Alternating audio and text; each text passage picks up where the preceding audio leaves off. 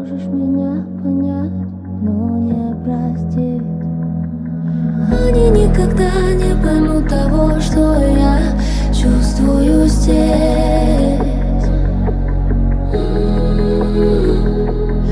Они никогда не поймут того,